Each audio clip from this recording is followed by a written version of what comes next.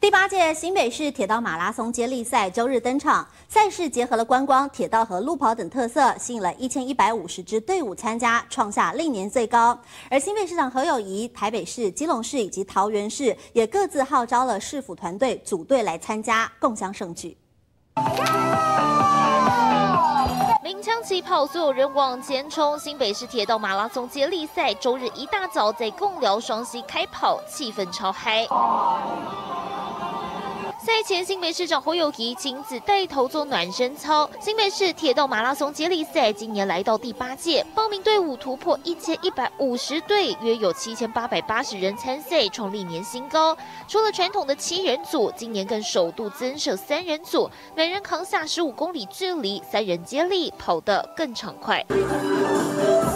还有人特别变装、精心打扮、超吸睛。而本次赛事除了侯市长，隔壁的基隆、台北跟桃园市也都各自号召市府团队组成最强阵容，一同参赛，要来场友谊竞争。我相信，嗯。我们会努力加油，我们会加油，我们会加油。对，今天是一个很开心，大家合作又竞争的团队，沿着山线，沿着海线，跟着火车一起跑。马拉松接力赛不只能浏览新北的铁道风光，还有山海景色，更能凝聚团体合作向心力。解蔡志恒新北市报道。